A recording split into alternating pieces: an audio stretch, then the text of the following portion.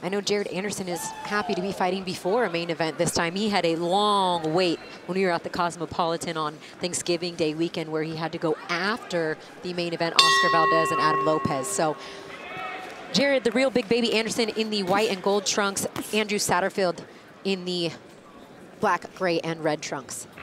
I know Jared Anderson is happy to be fighting before a main event this time. He had a long wait when we were at the Cosmopolitan on Thanksgiving Day weekend where he had to go after the main event, Oscar Valdez and Adam Lopez. So Jared, the real big baby Anderson in the white and gold trunks, Andrew Satterfield in the black, gray, and red trunks.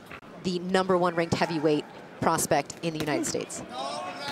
You see Anderson coming out right behind that jab, trying to establish that jab high, low, putting a lot of pressure on his man Satterfield right now. Anderson working off the jab.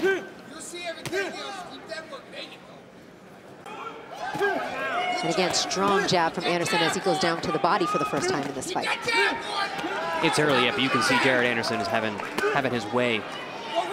Back down to the body with a left hand. Satterfield is in a world of hurt right now. Up at the count of nine, and Charlie Fitch is going to let them continue for now as Anderson goes back to that strong jab. Again, just peppering Satterfield to the face with the jab, and then drops that left hand down to the body.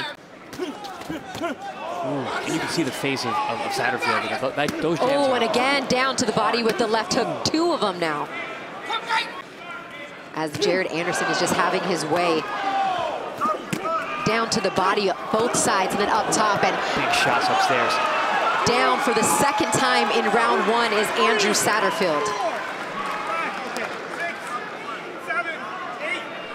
And he has said no mas. Knockout number three for Jared, the real big baby Anderson here in Turning Stone Casino. Recap, and this is the end of the fight after you caught that big left and, and a right hand. Big hooks on both sides upstairs, coming down to the body, then back upstairs, really just having his way, like I said earlier in the round. Jared Anderson doing everything right. Started off with the jab, went to the body, put his man down.